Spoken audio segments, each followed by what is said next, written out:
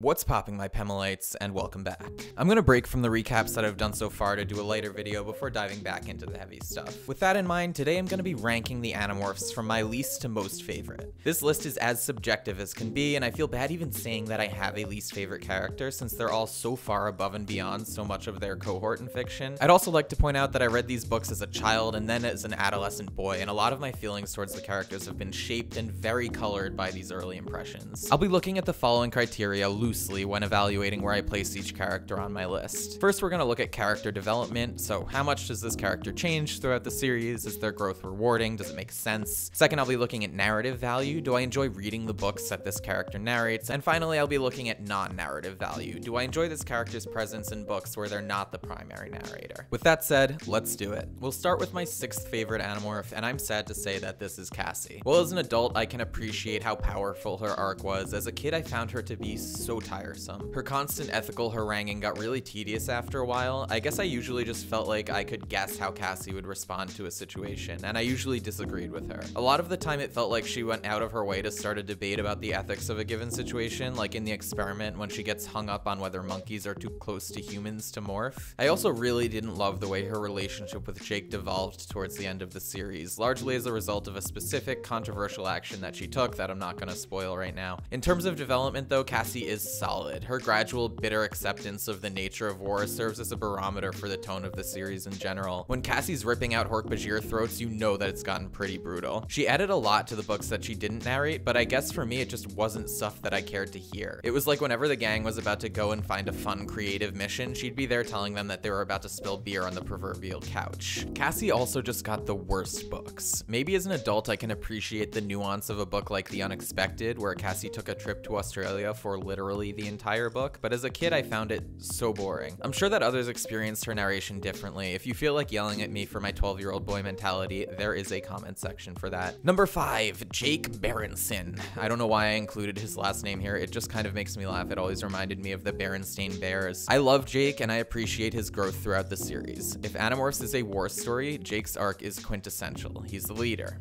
His books are also definitely among the most fun to read. Again, because he's the leader, he gets to narrate a lot of the more important plot points. The way that they use Tom to put Jake in untenable situations is always fun and gives us some excellent books. I'm thinking about The Conspiracy here, which I always liked quite a bit. That's the one where Jake's grandfather dies and they have to go to his funeral and it's going to be more than three days so Tom won't be able to get his Kandrona fix. For me though, Jake is brought down by a few things. I really don't like the way that he handles the situation that I already mentioned with Cassie and Tom towards the end of the series. As I wrote this, I actually came to the realization that I never really cared too much about Jake and Cassie's relationship as a whole, and I think that there are two main reasons for this. The first is that they're boring, and the second is that they are tedious. It takes forever for their relationship to get anywhere, and in the meantime, nothing happens. It's just assumed and mostly unspoken that they like like each other, but there's never any tension or struggle until the series is about to end, at which point it is nothing but dissonance. My reaction when Cassie and Jake finally kissed was kind of just, well, I guess it finally happened. And when they were having relationship troubles towards the end of the series, there was just so much going on with the war that I guess it kind of took the back seat. Contrast this with Rachel and Tobias and you may start to see what I mean. Jake is a strong and consistent character and he's essential to the Animorphs formula, but he's a little bit predictable. And while his books are fun, this is largely because of the nice, quick-paced plot as opposed to a unique narrative quality that only Jake brings.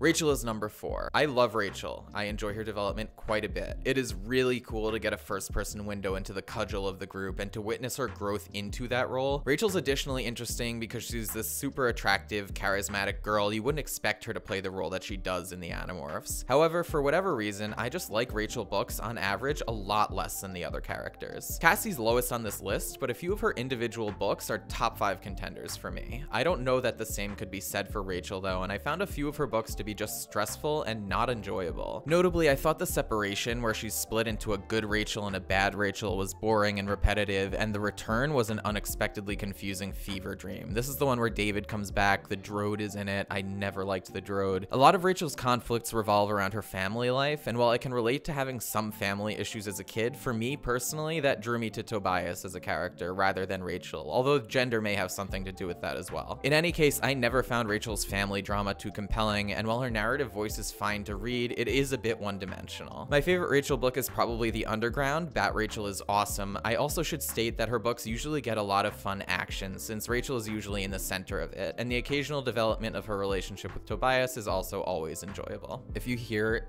whining in the background. I apologize. We got a puppy a couple months ago and she has some separation anxiety still. Getting into the top half of the list, Ax is number three. My top three contenders are like a hair's width apart, by the way. I find Ax to be almost as funny as Marco is. His dry observations about human culture and the way he slowly learns sarcasm and starts trolling the other Animorphs is nuanced and hilarious. The juxtaposition of this subtle humor against his antics surrounding food make his books pretty reliably funny, which is refreshing in this series. When he gets a TV in his scoop and he gets all hung up on these messages is one of my favorite parts of the series. His principal conflict around self-identity is also intriguing and it fits in alongside Tobias's journey of self-discovery really well. His dialogue is also very well written, whether he's trolling Marco or talking to Tobias about Andalite culture, and through him we get a great representation of the Andalite race and all of its facets. The inclusion of Ax in this series was masterful and brilliant, and I love him. He also is usually a great addition to the books that he doesn't narrate, whether through humor or exposition about the Andalite race. The only reason he's slightly edged out by number two on this list is because I found that in some of the books where Ax isn't the main narrator, they can kind of phone his character in. This doesn't happen too frequently in earlier books, but in the ghost-written books later on, he's kind of just a sarcastic side character, and I feel like we already have a better version of this in Marco. I know there's an argument that this fits in with the development of his character, and even as I wrote this, I was partially on board with that. Ax, by the end of the series, is war-hardened and emotionally battered from all the strife that he's had surrounding his identity and and allegiance, so I guess it would make sense that this would be the way that he is in the end. Regardless, I did find it to be a little bit on the nose. Anyway, I mentioned Marco, and my number two is Marco, and there are three reasons that Marco is in this spot on the list. The first reason is that Marco is funny, and he really is. I still laugh out loud reading Marco books, and he reliably adds value to the books that he doesn't narrate with his humor as well. He's sarcastic, but he doesn't take himself too seriously.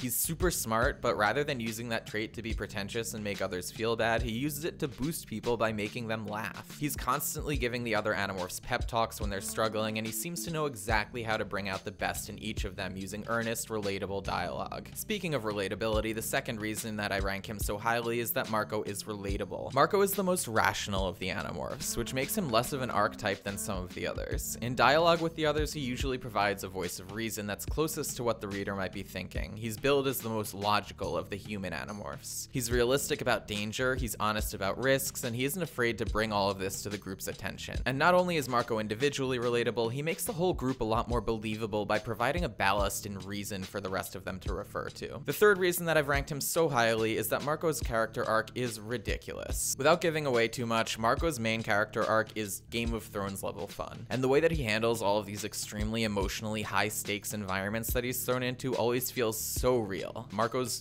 excellent. I would recommend Animorphs as a series to people based on the strength of his books alone. And with that, we're on to number one, and I doubt anyone would be surprised if you've seen any of my other content, but my favorite character in Animorphs is Tobias. The prevailing reason for this is because I was a very angsty child, prone to rumination even in my early years. I related to Tobias on this level, on feeling like a social outcast, even though I never really was one, and in the way that Tobias never really felt like he had a home. My home life was fine, but there were points when I really wished that things were different, and in those times, I kind of wish that I could have been a hawk in a tree in a forest chilling with my alien friend. I also was super impacted by Tobias's passages depicting flight. These were moving in all the Animorphs books, but recorded Tobias's identity and self-validation. I'm learning to hang glide later this year, specifically because I read Animorphs and because of Tobias. Also, his name is Tobias, which I never knew how to pronounce when I read these books originally, and I always really liked that because I imagine that people probably got it wrong a lot. My name is Marcello, and something that I hated as a kid was that no one would ever get my name right or remember it. People hear three syllables that they've never heard before and they just don't register it, so they would just not remember my name.